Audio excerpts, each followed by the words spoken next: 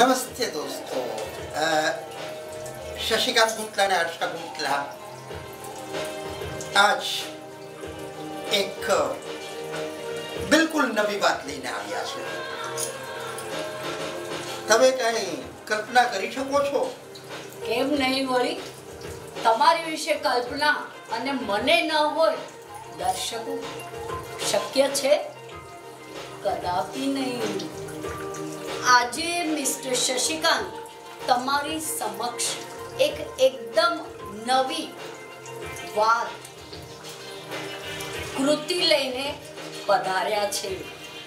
તમે સાંભળશો એ કૃતિને. તમને એમ થશે કે આ વીડિયો હું ક્યારેય બંધ જ ન કરું, બસ સાંભળ્યા જ કરું. એટલી સરસ એમણે ભાષા લખી છે, વાપરી છે. હવે મારા વખાણ કરવાનું મૂકી અને આપણે ટોપિક ઉપર આવીએ કે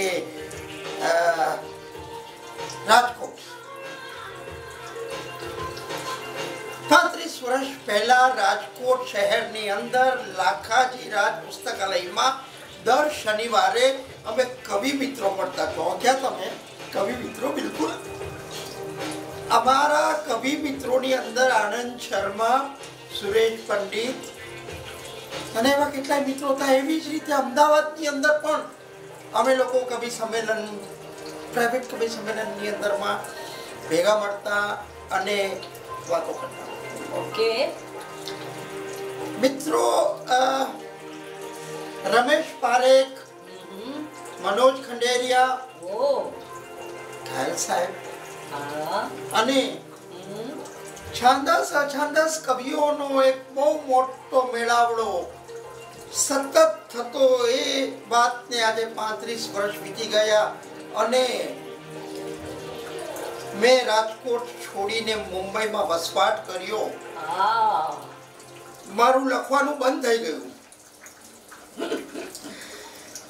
બિઝનેસ ભણતર અને વીડિયો જગતની અંદરમાં મારી એક પદાર્પણ.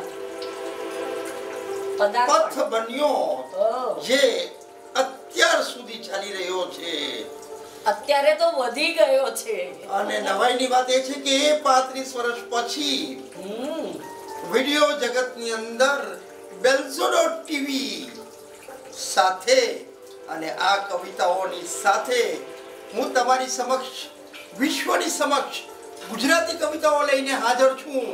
મેં ફરી એ કલમને મારા હાથમાં લીધી છે અને તમને એક નાનકડી એવી કવિતા જે આટલા વર્ષોથી મેં લખવાનું બંધ કર્યું હતું. ફરીથી મેં ચાલુ કર્યું છે. દર્શકો. તમારી સમક્ષ મિસ્ટ્રેસ શશિકાંત એક બહુ જ સુંદર કૃતિ રજૂ કરે છે. ખડખડ વહેતો સપનાનો મહેલ જરાક હસું ત્યાં રોકાતો મહેલ સજી ધજીને શેઠામાં ઉઘડતી બારી બારી બહાર મજાનો ખેલ ખેલ તો બધાને ગમે? સારો હોય તો વધારે ગમે. અને સમજ ના હોય તો ગમે કે ના ગમે એ તો ગમે ગમે છે. શું લાગે છે?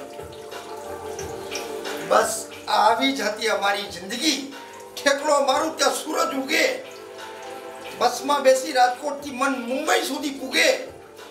જેમાં દરિયો અધ વચ્ચે સુકાય અને રમત ઊભી રહે. એવા રમત ગમતમાં વર્ષો પછી નવાઈ જિંદગી સીધી રહે.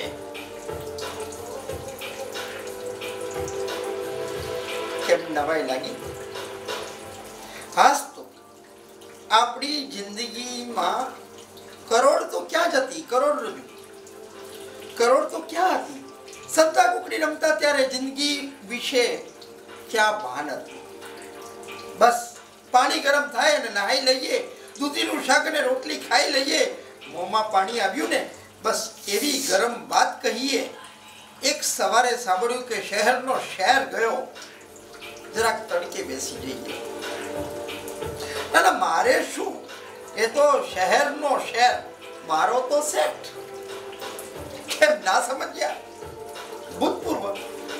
મને કાઢ્યો તો મારો એ સેટ ભાઈ રોકડી કરવી હોય તો ઠેકડી ના કરાય ને ઠેકડી કરવી હોય તો રોકડી ના થાય. એ બસ હવે હાવ કરો. ખડખડ ભાઈ તો સપનાનો મહેલ. જરાક હસું ત્યાં રોકાણો મહેલ. તો દર્શકો જિંદગીની આ એક નાનકડી સંતા કુકડી અને જિંદગીના તડકા છાયાની આ એક નાનકડી ગૂંથણી ત્રીસ પાંત્રીસ વર્ષના સપનાઓ, સપનાઓનો મહેલ ભાંગીને બુકો થતા બુકો થઈને ચણાતા, ચણાઈને ઉગતા, ઉગીને સંભળતા, સંભળીને પાછા રંગબેરંગી કલરફુલ કપડાં પહેરીને તમારીને મારી સામે ઊભા રહેતા. આવા કેટલાય પડછાયાઓ તમારીને મારી સમક્ષ હાજર થયા છે. એને જ જિંદગી કહેવાય છે ને એ જિંદગીની રમત એટલે કવિતા. આ કવિતાઓ અમે જ્યારે બોલતા પાંત્રીસ વર્ષ પહેલા અત્યારે મન ખોબે ખોબે આનંદથી ભરાતું. હા સાચી વાત પણ આજે ફરીથી બેલ્ઝો ટીવીના પ્લેટફોર્મ ઉપર ખોબે ખોબે શું એનાથી પણ વધારા મોટા સમુદ્ર બાથની અંદરમાં લઈને હું આનંદ અનુભવી રહ્યો છું. મારા તમામ એ મિત્રો કે જે લોકો આજે આ દુનિયામાં નથી રમેશ પારેખ સાહેબ અનુજ ખંડોરિયા આદિલ મંસૂરી કેટલાય મિત્રો આ દુનિયા છોડીને ચાલી ગયા. પણ જે મિત્રો ક્યાંક છે જેની આજે મને નથી ખબર કે લોકો ક્યાં વસે છે રાજકોટમાં છે, અમદાવાદમાં છે કે ન્યુયોર્કમાં છે? આ બધા દિગ્ગજો. કવિતાઓ કરતા કરતા કરતા કરતા ઘણા મોટા કવિઓ બની ગયા છે. પણ કોણ ક્યાં છે તેની મને બહુ ખ્યાલ નથી. મિત્રો, આજે હું અહીં વિરમું છું અને તુરંત તુરંત તમારી સમક્ષ બીજી કાવ્ય રચના લઈને આવું છું. Namaskar.